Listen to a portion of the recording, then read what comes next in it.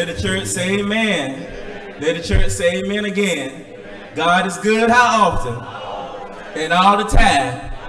Look over at somebody, don't get too close. Say, neighbor, God loves you. And I do too. And if you love me as much as I love you, then nothing can break our love in two. Well, I woke up early this morning. My heart was beating right on time. I said, Lord, I truly thank you for opening up these eyes of mine. Brother Denson, then I went over to the window and while I was peeping out the shade.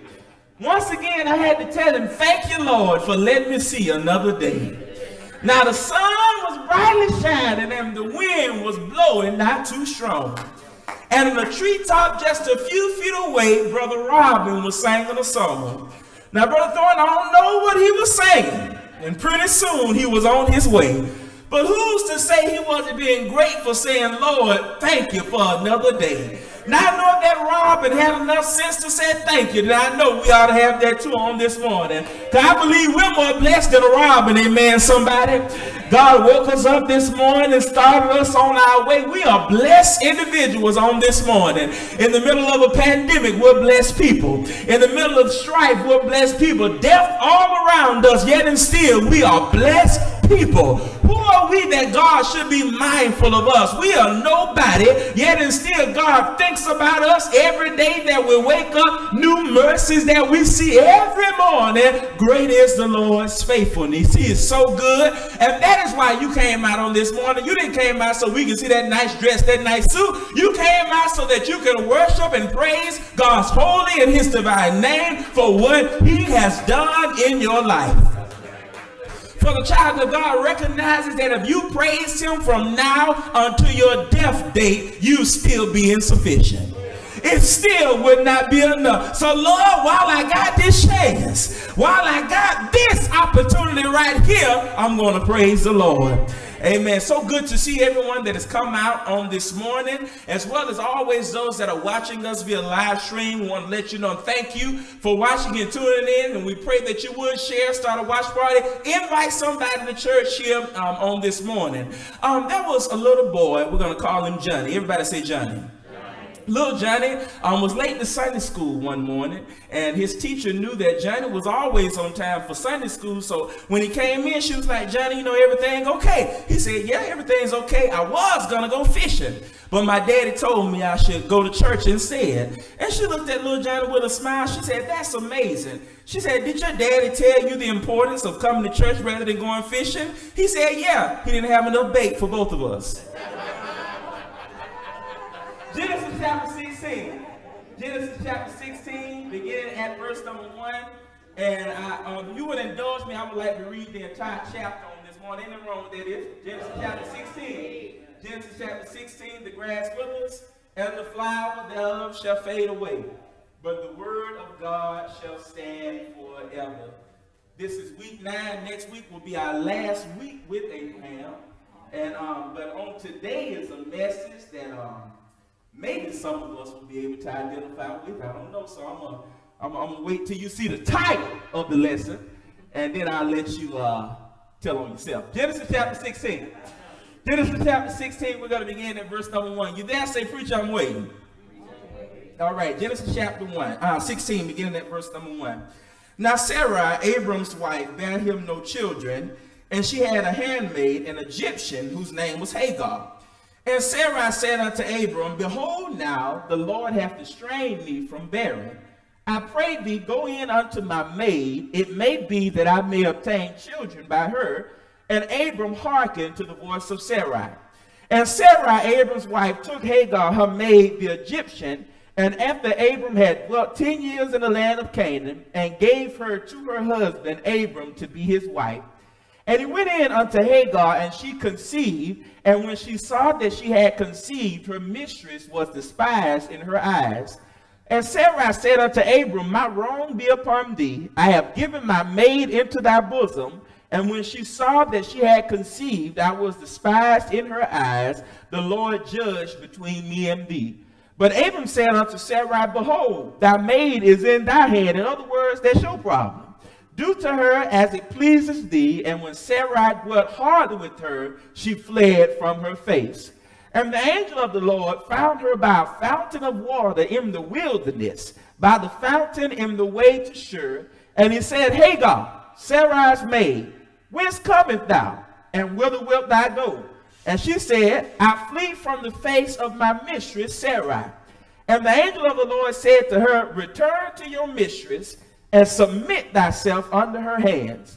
And the angel of the Lord said to her, I will multiply thy seed exceedingly, that it shall not be numbered for multitude. And the angel of the Lord said to her, Behold, thou art with child, and shall bear a son, and shall call his name Ishmael, because the Lord hath heard thy affliction and he will be a wild man. His hand will be against every man, and every man's hand against him, and he shall dwell in the presence of all his brethren. And she called the name of the Lord that spoke to her, Thou God that seest me. For she said, Have also here looked after him that seeth me. Wherefore the well was called Beer-lahai-roi. Behold, it is between Kadesh and Bered. And Hagar bare Abram a son, and Abram called his son's name, which Hagar bare Ishmael. And Abram was fourscore and six years old. Somebody say 86 years old. When Hagar bare Ishmael to Abram. May the words of my mouth and the meditation of my heart be acceptable in thy sight. Check it, you can put the title up there now. Our subject on this morning is caught in an entanglement. Caught in an entanglement. If you need a working definition of entanglement, just think about Jada Pinkett Smith and August Alsina and Will Smith. You'll get the entanglement that I'm talking about. You know, it is amazing the depths that God's people are willing to go to get what they want. Here is Abram, a man that has left everything to follow God by faith.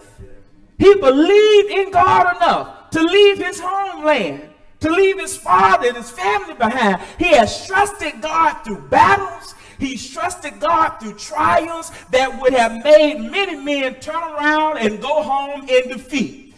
Yet for all his faith and for all of his good deeds, Abram at the end of the day is still a man. He's still made in sinful flesh. And there is still within him a pull towards the world and the desires of this world. We all know what this passage is about. You've heard this a million times. Sarai and Abram try to help God give them a son by having Abram take Sarai's maidservant Hagar as his wife. Of course, this was not and never was God's intention for their lives. But as with us, this did not stop them from rushing ahead of God anyway and doing what they wanted to do their decision brought with it consequences for them and for the world that we live in today. And as we have this time this on this morning, I want to deal with caught up in an entanglement. And there are just three points I want to deal with. And the first one is the reason for the entanglement. While all the reasons behind this entanglement are far too many to mention, there are three that warrant mention here on this morning. And that is they were seeking acceptance. In the day and in the society that they lived in, it was considered a disgrace for a couple not to have a child. It was considered a disgrace for them to be going along childless. And in our day, you know, many couples choose that lifestyle for themselves, and that is okay. And others have that choice forced upon them by physical reasons. And in Abram's day, regardless of the reasons behind it, if a couple had no children, they were mocked, they were looked down upon, and largely they were not accepted into the society. This was a society that almost thought nothing of multiple marriages. You could marry as many folk as you wanted to, but yet, if you didn't have any children, they look down upon you. If a man like Abram were to take Hagar as his concubine or his secondary wife, nobody around them would think anything about it. If that concubine would bear a child, it would be considered to be the child of the first or the primary wife. It wouldn't be considered to be Hagar's child, it would be Sarai's child. And in this way, Sarai could get the child she desired to be accepted within the community that they lived in. Now, note this God's children are often guilty of lowering their standards to those of the community around them to fit in better. Have you ever seen that our people, just to fit in with a certain crowd or a certain group of people, or to be accepted by a certain group of people, they're willing to leave their standards at the church, at the house, and just go out and succumb and do any and everything that they can just so they can have a feeling of being accepted. Man, if you can't accept me the way I am, then evidently you don't want me. If you can't accept me with the way that I'm living and the way that I'm striving to be, then evidently you don't want to be a part of my life. You should never give up your standard. You should never sell yourself short in order to fit in with somebody that ain't even got no standards. There must be a clear line of demarcation between people of the Lord and people of the world. There are many people that are falling into this trap because so many of us, we think that the Christian life is boring. We think that the Christian life is mundane. We think that there are too many rules and too many regulations to be kept if you are going to be a child of God. Let me tell you, you can be saved and still have fun. Amen, somebody. You can be a child of God and still live a prosperous life. You ain't got to be out there doing all kind of fools and shoot them up, bang, bang. You ain't got to be out there doing all kind of stuff like that, but you can live a life that is enjoyable as well as pleasing in the eyesight of God. They had some baggage that they were dragging. The Bible tells us that Hagar was an Egyptian. She was part of the possessions that Abram brought back with him when he went down there in Egypt. Now, and he had he had never journeyed to that country. That would have been had he never went down to Egypt, there wouldn't be no Hagar for him to get caught up with. I said, had he never even went down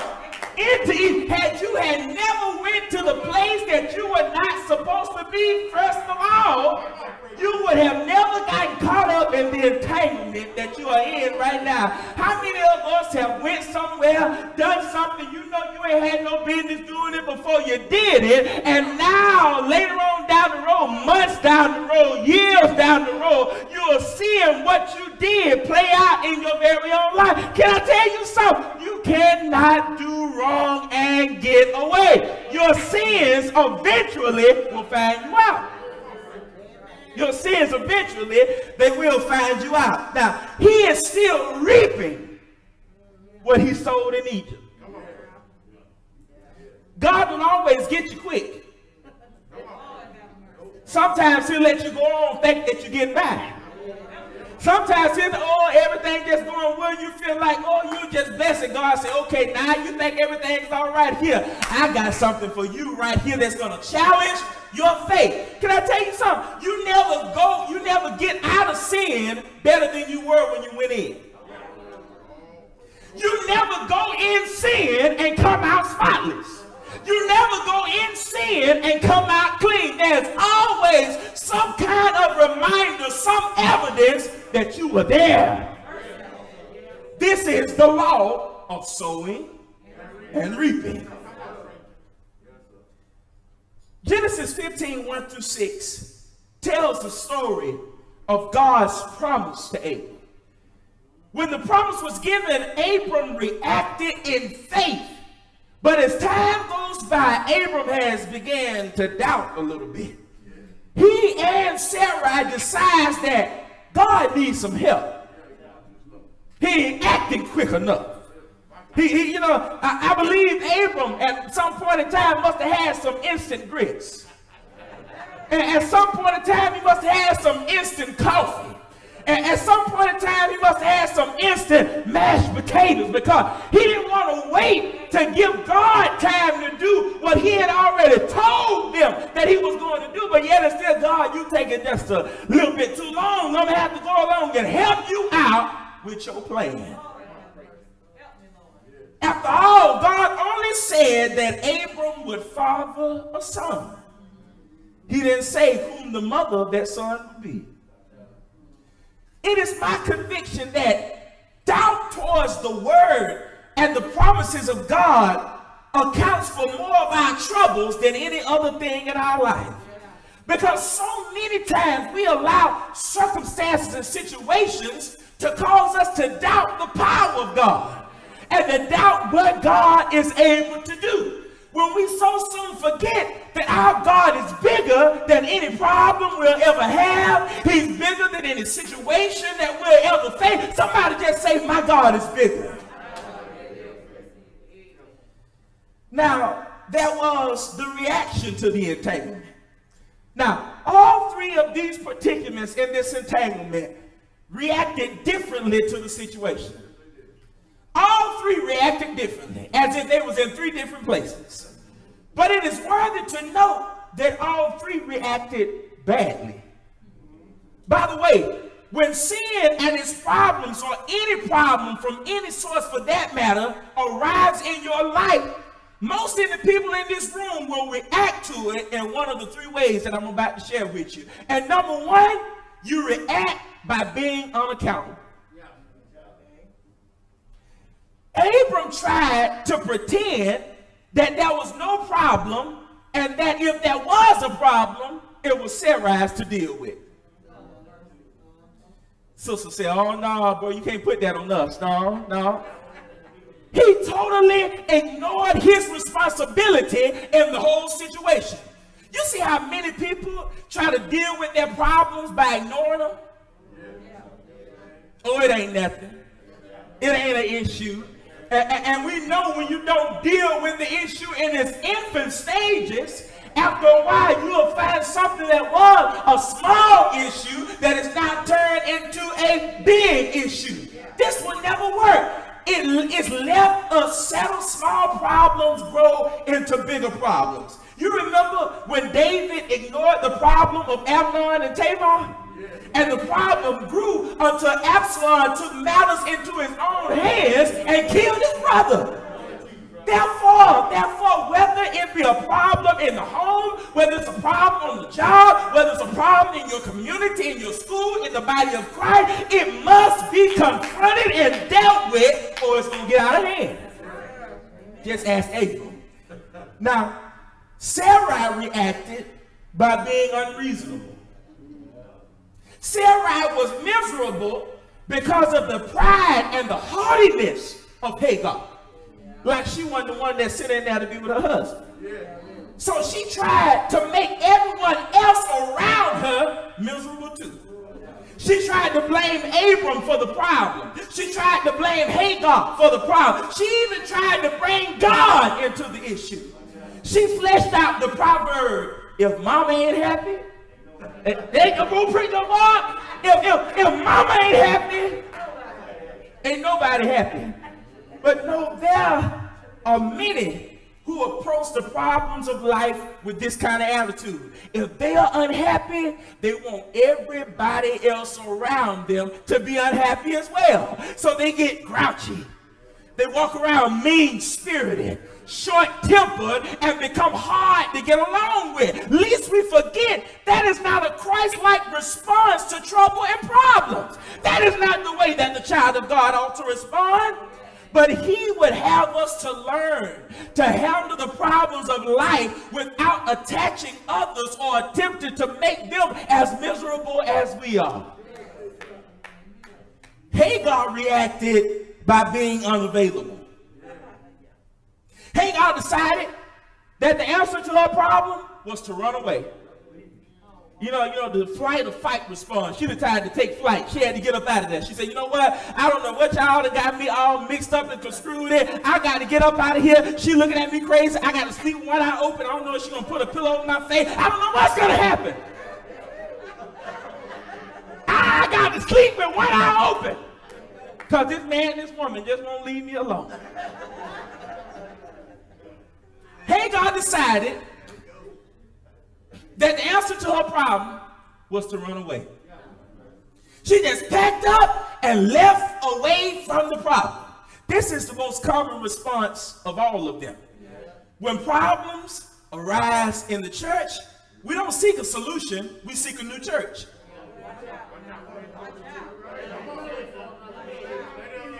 When problems arise on the job, even though you know you'd have been late 10 of them times. Instead of trying to correct yourself, I'm turning my two-week notice. Forget y'all, I'm going to find me another job. When problems come up in your marriage,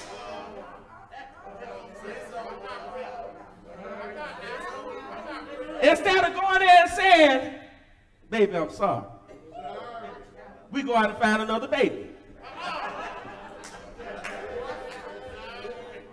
Instead of trying to get the solution, we always seem somehow to make the problems even worse than they already are. You remember the giants of Canaan and the children of Israel? They ran from them the first time in Numbers 13 and 14. But before their descendants could claim the land, they had to be faced and they had to be defeated. Before you can get over this hill, before you can get over this problem, before you can get over this issue, you got to face the problems that are evident in your life. You know you got issues. Stop acting like you got it all together. Everything is perfect and that you don't do no wrong. You know you need help and the only one that can help you God Almighty. I want to call your attention to the fact that God sent Hagar back to the house. God sent her back to the family. No, no, no. Y'all created this mess. Now you're going to have to deal with the mess. Had you did what I told you to do in the first place, you wouldn't be in this mess that you caught up in. But now that you have made it, you made your bed hard. Now you got to lay in it.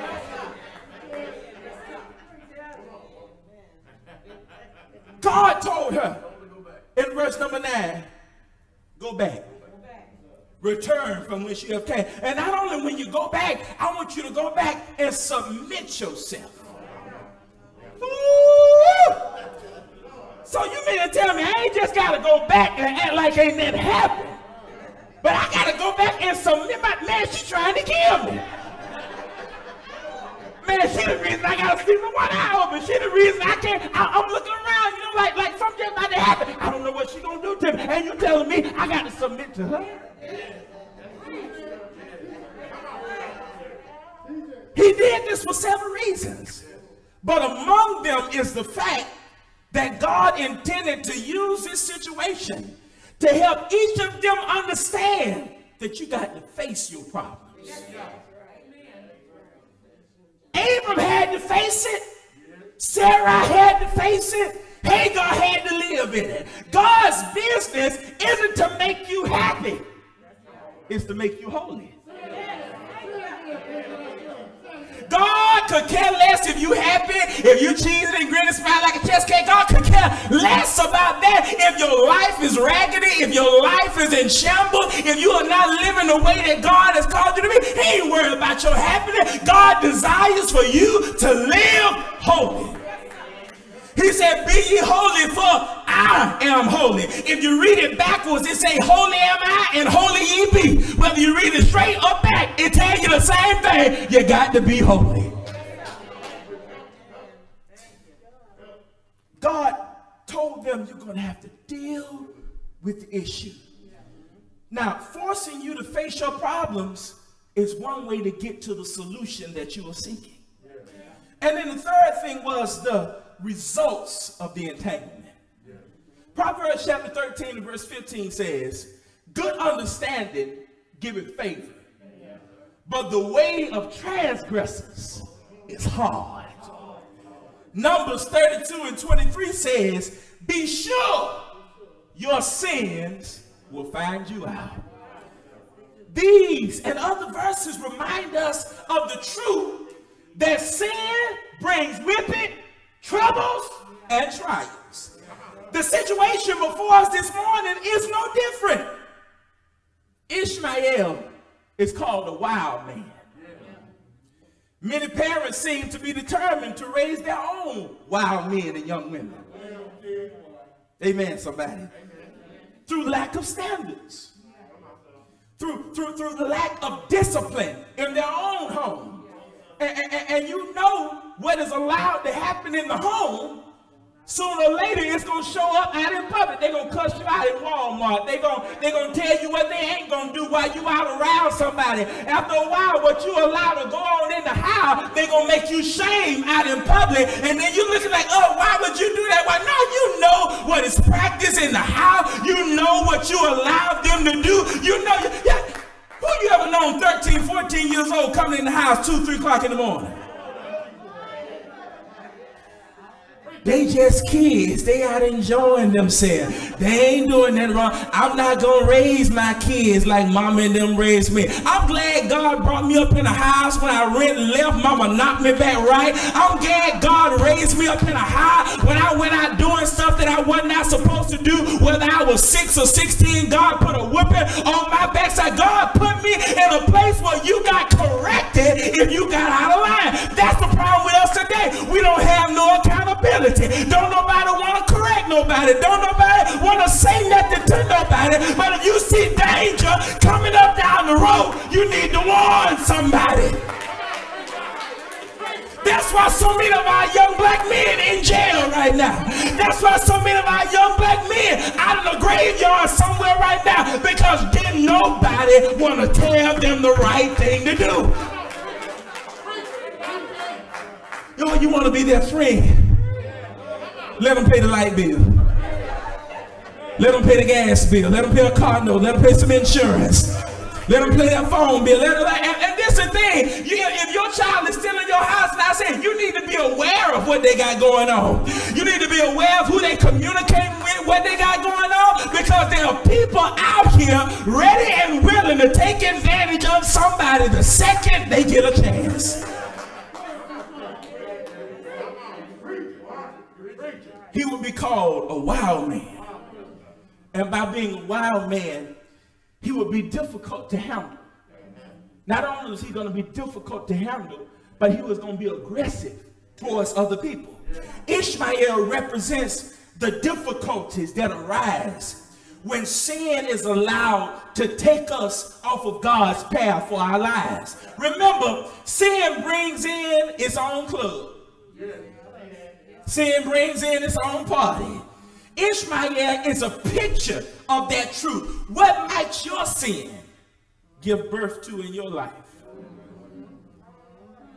As Ishmael grew, the tension surrounding him grew as well. Now she had to sleep with both eyes open. She didn't know where Sarah was coming from. In other words, the sin of Abram and Sarai, even after many years, still brought heartache and trouble into their home. I would just remind you that your sins, no matter how small, no matter how insignificant you may think them to be, they always affect you and those that are around you. They poison your spirit, sabotage your family, and they hinder your walk with God. Many families are burdened this morning by the so-called hidden sins of that family. The answer to sin is to put it out in the light. Not cover it up. The answer to sin is to put it out in the light. Sin cannot live when it is brought out of darkness and into the marvelous light of the glory of God. Now, even though sin was accomplished by the will of men, it was going to be used for the glory of God those involved could not see how things would play out in our day. Yet much of the trouble the world is dealing with right now, especially in the Arab world, is a direct result of Abram's sin with Hagar. So can you see something that they did thousands of years ago is having problems going on up until this day? You see nothing even our sins catches God by surprise. It ain't surprise God that you back down on bended knee over the same issue for the 75th time. It, has, it hasn't, it hasn't surprised him. It hasn't surprised him. When God made you, he know he gave you a what we gonna call a malfunction. When God created you, he know he left some screws missing out some places. When, when God created you, he knew that there was some leaks within the ship. He knew that there was some, some issues going on. But I'm so glad he loved me past my issues. I'm so I'm so glad he loved me past my shortcomings. I'm so glad he loved me past my wrongdoing. Because if God really gave us what we deserve, wouldn't be nobody here. The, the, little babies, they would be in here. But you know what? Far, far as us, wouldn't be nobody up in here this morning.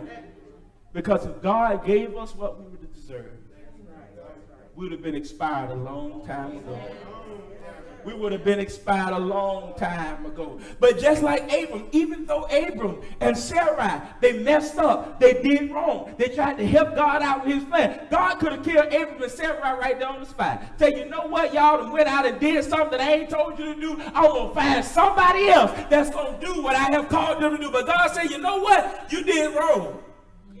Now you're going to have to live every day looking in the face of your sin. Ishmael ain't going nowhere. Every day you wake up, you're going to be faced with the sin that you commit. You're going to be faced with your wrongdoing. So many areas of our lives have probably been touched by this message. While we live in this world, we have sins, we have trials, we have troubles. But don't let that be an excuse for you to just blatantly do wrong. For you to just blatantly sin. Oh, but he gonna forgive me. I might as well do it. I still got time. I might as well do what I want to do. I might as well have fun right now. You know, I don't know how much fun I'm, I'm going to be able to have had they just waited on God. Had they just waited for what he promised them to come to pass we wouldn't even, wouldn't even have Genesis 16 going on right here. We wouldn't even have this issue. And to think, this is the same woman that when God made them the promise, the Bible says that Hagar, she was she wasn't visible. She was off somewhere. She was listening to the conversation that was happening. And the Bible didn't say that she laughed out loud. Ha ha. The Bible says that she laughed within herself. God said, tell her I heard her laugh. So you mean to tell me he knows my thoughts while they're still afar? You mean to tell me if she knew that he had power like that, don't you think he had power to bring about the child, the promise that he already told you was going to happen? But you see how when things don't happen in our timeline, when things don't happen the way that we want them to happen in the means that we want them to happen, we feel somehow God has forgotten. We feel somehow God is not worried about our issue. And so we want to go ahead and help God out. You can't help yourself. How you going to help God? If we could help ourselves, we wouldn't need him. But without God, y'all, we are nothing. Without God, we can't do nothing. Apart from him, we have no strength. Apart from him, we have no ability. Everything that you do, you're doing it on his power. The car that you drive, you're driving it on his power. The house that you're living in, you're living in it off his power. I know you pay the bill, but he makes sure the funds are there. I know you go and punch the clock in, but he makes sure your legs and your arms work so you can operate and do what you need to do to accumulate some income to take care of your house. It's all because of his power. And if he decides to cut off the powers, we're in trouble. We're in trouble. I know, and I'm not a fortune teller, I'm nobody's prophet. But I know every single person in this building is dealing with some sin. I don't care if you've been in the church 60 years. I don't care if you've been in the church 40, 30, six days. However long you've been in, you've been confronted with some issues. You've been confronted with some, you've been confronted with some, some of us thought we had gotten rid of those demons years ago. And you recognize all it took was the right situation and it brings those demons. Can I tell you something? When desire and opportunity meet, the Pope is bound to sin. Can I tell you something? When, when, when, when, when, opportunity and desire meet, anyone is subject to. Anyone. Everybody, no matter how good we try to dress up, no matter how good we try and smell, no matter how, how good we try to appear in front of individuals within ourselves, we got a sin issue. Within ourselves, we got a problem, and the only way you're going to get better, the only way you're going to get over the problem, you got to address it. You got to address it. Stay out of environments that harbor that kind of stuff. Because once you continue to place yourself within an environment, how, how you how you gonna be made better if everywhere you go, what you're trying to get away from, here it is. Here it is. Here it is. I don't care how many self-help books you read. I don't care how much you uh, watch the Yellow on. I don't care how many Oprah shows you watch. I don't care what you do. At the end of the day, still got a sin problem. You still got some issue. And so many of us, some people for years, been walking around harboring sin. Why can't I be blessed? Check out your sin. Why can't I progress? Look at your sin. And the thing about it, we think that we get by just because ain't nobody at the church saw us yet. We think we get by just because we ain't got caught up yet. All along on the road to the soul's true abode, there's an all-seeing eye watching you. Every step that you make, this great eye, he is awake. There's an all-seeing eye watching you. We love to say only God. I'm sure somebody here probably got a tattoo say only God can judge me. And, and, and we be so quick to holler out there, you, you, only God can judge me. That's what you need to be worried about. I could care less what any feeble put their pants on one leg at a time like me, man, got to say. I'm more concerned with what he got to say about my life. I'm more concerned with him looking down at me and saying, good job. Well done, good and faithful servant. So since we know and we profess that only God can judge us, let's live like only God can judge us. Because he is the one. He is the only one that's going to have the book. He's the only one that's going to have the record book. And even those sins that you buried long time ago, if you never got it right with him, it's coming up again. It's coming up again. It's got, you go out there and you can plant that seed as deep in the ground as you want it to. When it come time for it to bloom, something coming up out that ground. And you're going to be able to see evidence of what was planted. Be careful what you sow. Yes, Lord. Be, make sure what you sow, you want to reap it. Make, make sure. So many of us done people wrong, wonder why everybody doing you wrong. Lying on folk, wonder why people keep lying on us. Talking, oh, can't wait till we get home so we can get on the phone and talk about folk. Wonder why people talking about you. You'd have been on the job, going to somebody else's position, going to the boss, talking about the person. They ain't doing this, they ain't doing that. And now you wonder why everybody rallying up trying to get you off the job. I wonder, I wonder, I wonder, I wonder could it be? What goes around. Go, I don't I can I don't care how much strength I have, I can throw that boomerang as far as I want it to go eventually, it's to make its way right back. And let me tell you, it ain't too fun when the rabbit got the gun. For those y'all that know what that means, it ain't too fun. It's all well and good as long as you are the one doing wrong. But then when somebody else does wrong towards you, or you on CBS to talk about it. We wanted to make the front page. Look at what they did to me. What have you done? You know that's the biggest issue in closing. You know that's the biggest issue of Christians. So concerned with everybody else. And don't even know what's going on in your own life.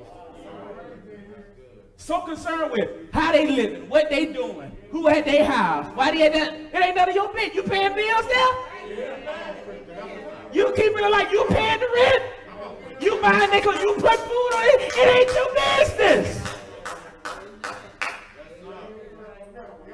You got enough in your own life to correct and worry about. Keep your nose out of other folks' business. Williams brothers wrote a song a long, long while ago. Sweep around your own front door. Before you try, to sweep around mine. We make sure that everybody else in the neighborhood's porch is good and clean. And dirt just piling up in front of ours. That's why he said, work out your own. Not everybody else's. Work out your own soul salvation with fear and with trembling. And can you see that principle in the life of Abraham and Sarah? Stop trying to put the blame off on somebody else. Yes, Lord.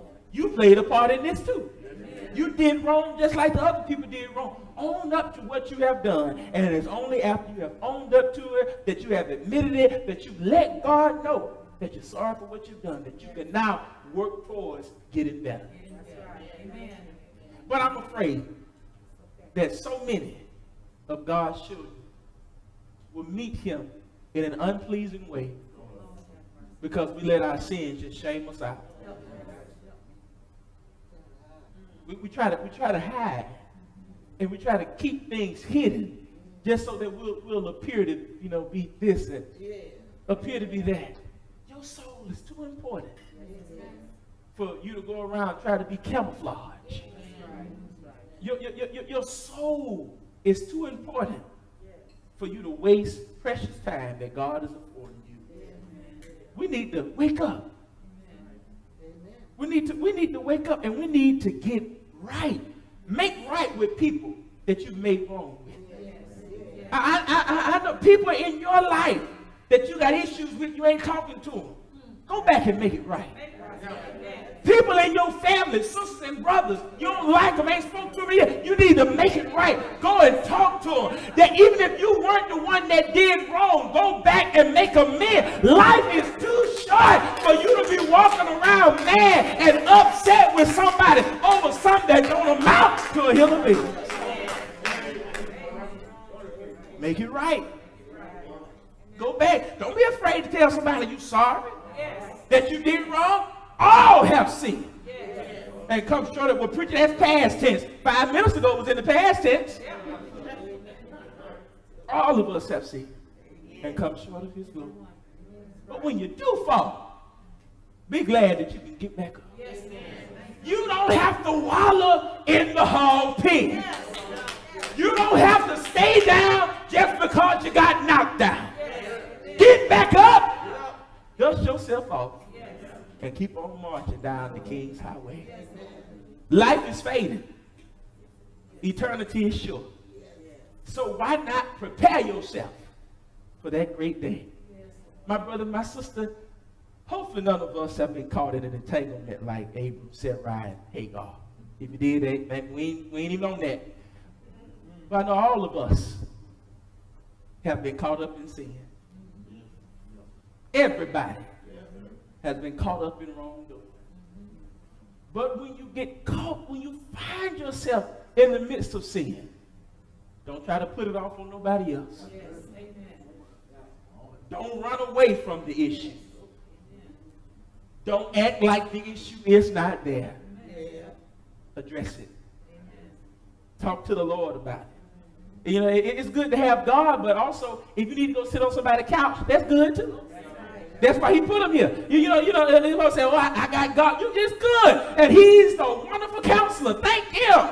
Yes. But you need to take advantage of those things that God has given us. A lot of us walking around here with some deep-rooted issues, yes. and it's going to take some time for you to get over that. But addressing it is the first step. Addressing those issues that you have in this life and correcting yourself, so that what I had issues with on yesterday, I don't struggle with it as much today. And prayerfully by God's will on tomorrow, what was my ceiling will now be my floor. Yes. Amen. If you're here today, if you're here today, you are not a child of God.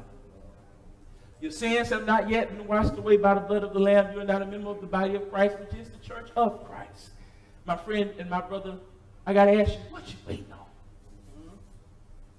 What, what, what are we waiting on to make the greatest decision that we could ever make in our life?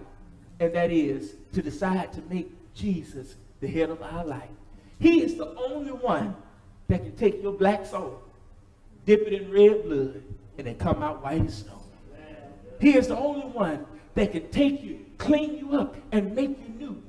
And once he gets done with you, the Bible says that you, you rise to, to walk up in a new way of living. You got, a, you got a new way of life. You got a way about yourself. Since you have come in contact with Jesus, you come by hearing this word, believing the same, repenting of your sins, confessing Christ as your Savior, being buried with him in baptism, have your sins washed away, done away with, never come up before you in this life, and neither the life that is to come. And the Lord himself will add you to his body. But can I tell you something? The same Bible also says that if you die in your sin, where God is, you cannot go. That's simple. I, that don't need any exegesis, eisegesis, exegesis. It don't need any of that.